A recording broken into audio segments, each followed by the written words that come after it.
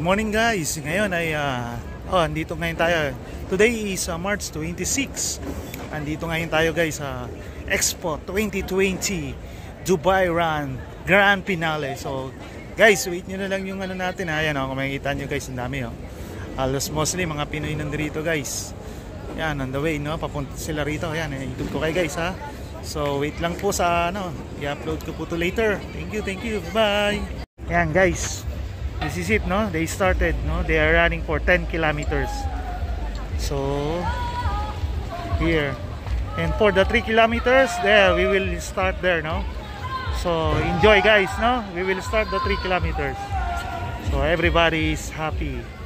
So thanks to Dubai.